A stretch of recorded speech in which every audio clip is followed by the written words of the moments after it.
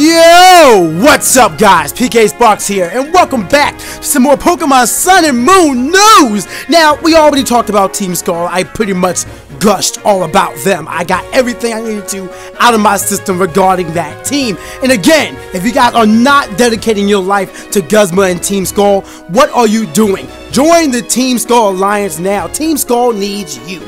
But without further ado, let's talk about the brand new three Pokemon that were announced in today's video that was officially announced when it was supposed to be coming live tomorrow, but with all the leaks, I guess Pokemon Company just said, screw it, just put the freaking trailer out there. Let's get our own views. If you guys enjoyed this video, demolish the like button for me. The likes have been phenomenal lately. Let's see if we can now reach the goal of 1,000 likes on this video. And if we can, then maybe we can even extend that to further videos. But of course, above all that, I want to know your opinions on the three new Pokemon that were confirmed in the Alola region. The first one I am going to be talking about is Morelull. Or Morelull. I'm not sure how you pronounce it. It's Morelull is M-O-R-E-L-U-L-L. But go, judging by the name, I'm assuming that it's a Pokemon that wants to put you to sleep. As a matter of fact, its abilities are Illuminate and Effect Spore um, what is it? It's a grass fairy type, and I'm just like, we don't really need another grass fairy type, but it's it's like it's it's a thing. I don't really care. It's all right. We have a grass fairy. Hopefully, you evolve into something amazing. But another again, we have another grass type, and we have another fairy type. The typing is really starting to get really stale in the Alola region. Like, has there been a psychic type reveal besides um? Besides, I'm sorry, Alola Raichu and or Oricorio. I don't think there is. I I can't recall anything as a psychic type that's been revealed for this island. But I mean, I could be wrong. As a matter of fact, wasn't that um that Bruxish fish a psychic type? If so, then I'm a liar. I'm lying right there. But still, in any case, going back to what I was saying. Um, Morelull is a Pokemon that pretty much puts your Pokemon, I mean, puts people to sleep. That's the whole idea of it. Like, if you look at its pulsating light on its, like the mushroom, if you look at this mushroom while it's pulsating, then it'll put you to sleep. It has a lulling effect, hence the name Morelull. Um, otherwise, it kind of reminds me of the Pokemon that evolves into Lurantis. I think it's like Furantis or Fomantis. Fomantis, I believe the name is. But it reminds me of Fomantis, where it sits around, it just it puts down roots, and then it wants to absorb nutrients or photosynthesis, whatever it is. Actually, Morelull is a nocturnal Pokemon, so he's more or less just getting um, nutrients, uh, other than I mean, opposite of Fomantis, who is actually getting photosynthesis during the day and then moves during the nighttime. I believe that's how it goes. But it's just the opposite version of that. I don't really I'm not really interested about it. It does, I mean, its second ability is, or first ability is actually Illuminate. So hopefully its evolution will be phenomenal, or they just give Florges a grass typing, because that should be Grass Fairy. That should be Grass Fairy. But instead we have a Mushroom who's a Grass Fairy, and I don't understand what it's supposed to be doing, but it has Effect Spore, and it even used an attack that kind of looked like Spore. So I want to assume that this Pokemon does get Spore, and it's just a new animation. And I say that because it was a mushroom, it shook, the spores went out, and then Mudbray went to sleep. So that's the only attack I know that's even remotely like that is Spore. Or it could be like an attack, an attack that is like Effect Spore, where it'll shake its spore, and then one of three effects will happen, whether it gets poisoned, whether it gets paralyzed, or whether it gets put to sleep. So I mean, if that's the case, then that'd be kind of cool as well. But for now, that's all it is. Morelull is there, and I can't wait. I, I, I don't imagine you guys having any opinion on this one in the comments, but there it is, Morelull. Okay, now I normally like saving the best Pokemon for last. I'm not sure which one of these two were, but I decided to talk about Wishiwashi second because Pyukumuku had, well, first of all, I love its name, and as much as I love its name, it is actually a really gross Pokemon. I have a lot to say about that one. So let's go on and talk about Wishiwashi. Um, Okay, so remember the, I said in the last episode when I talked about Team Skull that there are some things about 7th Gen. I mean, there's nothing about 7th Gen that is bad. Yeah, I am a liar. Um, some things that are bad are the names. First we have Bewear, and now we have Wishiwashi. Um, um, could, couldn't we have just taken the Japanese name, Yowashi, and just taking that? I understand that localization. They probably said, hey, Americans will probably relate to a name named Wishiwashi more than Yowashi, but uh, sometimes Americans don't know what's best. Matter of fact, most times Americans don't know what's best. Um, so if we could just change that to back to Yowashi, that would be appreciated. That's a much better name than Wishy Washy. I'm not saying that. I'm saying I'm calling it Wishy or I'm calling it Washi. I, I would probably just call it Yowashi. You know what? I'm calling it Yowashi. Screw it, I'm not going by his American name. The name is Yowashi. It is a water type, and his ability is the most intriguing part about this Pokemon. The ability is schooling. Now, hear me out. Schooling is an ability that alters a Pokemon's form in battle. Um, means that it goes from its single form, which is a singular, Yowa singular Yowashi, to a, its school form, which is like 100 Yowashi. And they come together to form a giant behind submarine, submarine shaped Pokemon that is pretty much on kin with the size of a Gyarados, if not bigger than a Gyarados. As a matter of fact, the Pokédex entry literally reads that Gyarados runs in fear of Yowashi in its school form. Even Gyarados flee from Yowashi's school form. That's what it says right there. It's freaking powerful. Now the Pokemon is tiny, it's only 8 inches. So to go from an 8 inch size Pokemon to reach the size and the span of a Gyarados. Somebody out there who is good with math and and uses the uh, the Imperial system.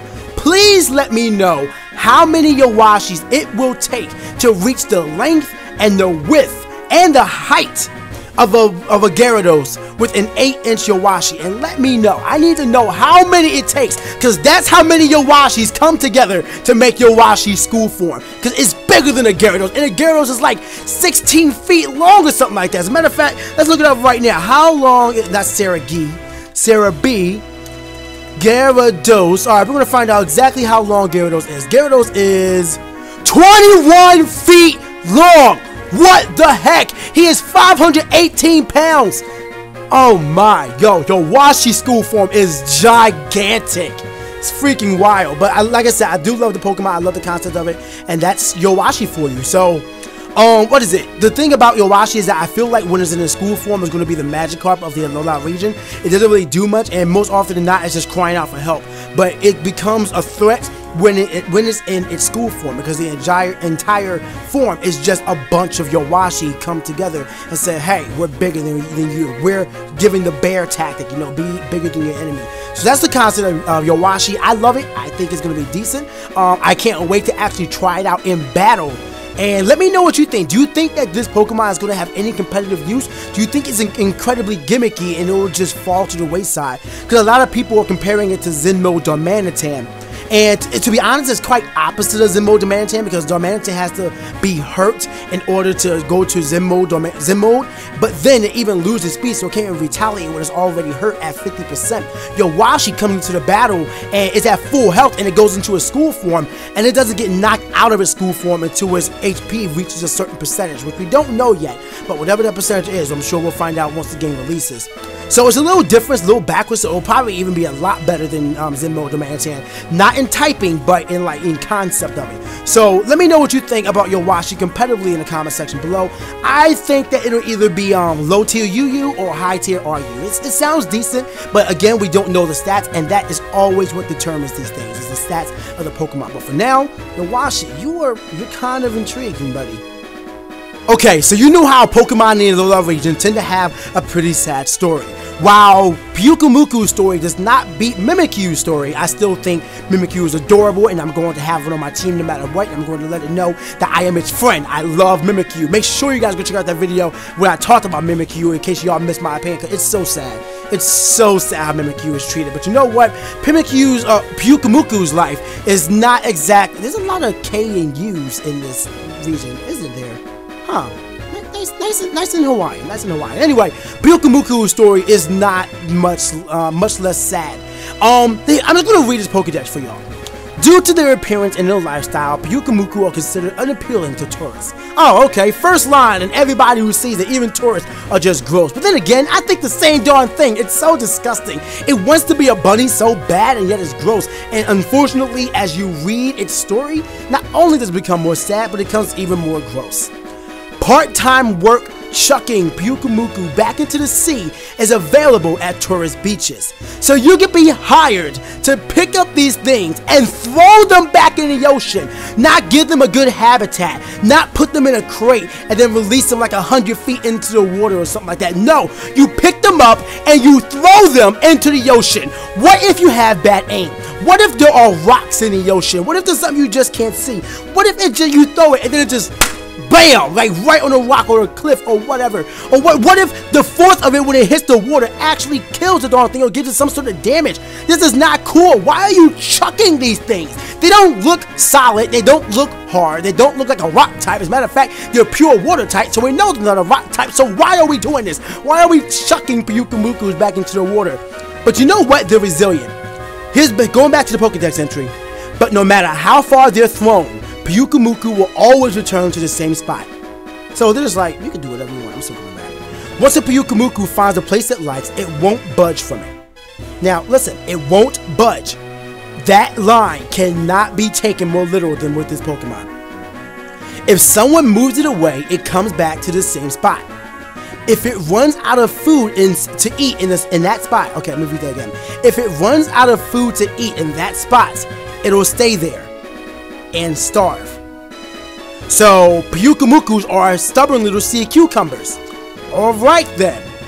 The people of Alola found this so pitiful that they developed a tradition of chucking Pyukumukus back into the food-rich sea whenever they come across any thin-bellied Pyukumuku. So, the concept is decent, the idea is nice, the actions, uh, I still disagree with chucking Pyukumukus, but at the same time, it's like you just want to help them, but again, can't you just like put them in a crate in, or a fish tank and just drop them off in the water? Why do you have to throw them? Oh, it's like a childish game.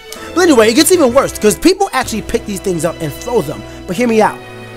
Pyukumukus are covered with a slippery, viscous fluid that has a moisturizing effect. Pyukumuku can stay on land for a week without drying out.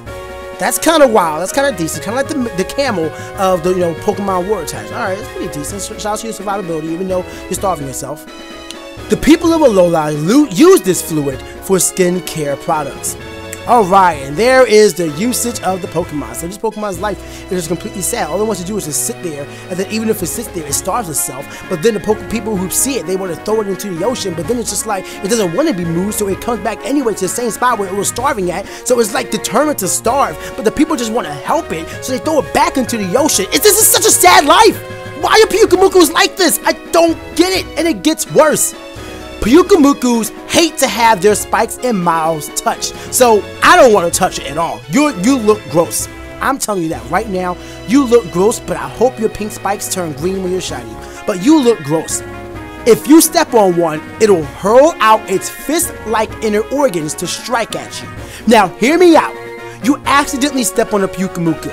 You're already having the spikes dug into you.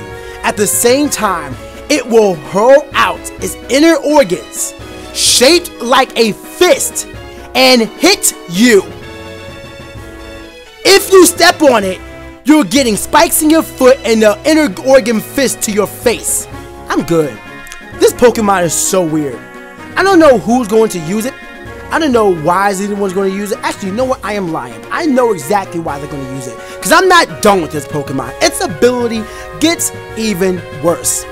So its ability is called Innards Out. Yep, they couldn't come up with a less gross name than that. Innards Out. And it's essentially a Destiny Bond and a Pain Split. Or sorry, or Aftermath in a way. Hear me out. Pretty let's say that Pyukumuku has 100 HP. And let's say that you use Guillotine. Guillotine one-shots the Pokemon. All 100 HP of that Pokemon is gone. Now let's say the Pokemon that used Guillotine was um, Krabby. Krabby's HP isn't the greatest. It's not bad, but it's not the greatest. When he has Guillotine, he'll probably have like, mm, let's say 98 HP. Because you used a move that did 100 hit points of damage and knocked it out, Innards Out activates. And it's a retaliation attack that does the same amount of damage to the opponent that the attack did when it knocked it out. So Krabby loses 100 HP. Because he only has 98, he is instantly knocked out. Which means that one shot in his Pokemon will actually be detrimental to you. Does this mean that this Pokemon will have an opportunity to set up in the future? Yes, sir. Does it mean that people are going to start using False Swipe in order to catch this Pokemon? Yes, sir is the fact that even and not to mention I think from the Japanese gameplay trailer I forgot to mention this but the Japanese gameplay trailer showed Pyukumuku and it looked like this Pokemon had pain split so you weaken the Pokemon the enemy target Pokemon you strengthen yourself they one shot you anyway. And then because you'll most likely have the same amount of HP if you outspeed them, that means that you one shot them instantly. Oh, they one shot themselves. It was it was on a Hariyama. So Pyukumuku, you are just a weird Pokemon. I'm not sure if you're good or bad. I know you're gross. I know I don't ever want to see you. And I damn well know I don't want to touch you. But uh you are a weird Pokemon. And that's why I wanted to say Pyukumuku for last, because I had so much to say about this Pokemon. It's Alola it's just strange, but these Pokemon that they are cranking out, I can't say I hate this region. Whether I love the Pokemon or I hate the Pokemon, Pokemon are just great, no matter what. Alright, I told you, I had a lot to say, but we are done. That's all the three new Pokemon. I'll be talking about Alola Raichu, Alola Marowak, and Alolan Meowth in just a little bit, hopefully later on tonight. If you guys enjoyed this video, demolish like button for me. And again, let's try to reach the goal of 1,000 likes on this video. Most importantly, I want to know your thoughts on all these Pokemon. Morelull, um, Yowashi or Wishiwashi if you refuse to use the Japanese name. And of course, Pyukumuku. I want to know all these names in the com- or your opinions on these Pokemon in the comment section below. Make sure you guys like the video, comment the video, follow me on Twitch, follow me on Twitter, subscribe to me on YouTube, but most importantly, stay hot, guys. I'll see y'all next time.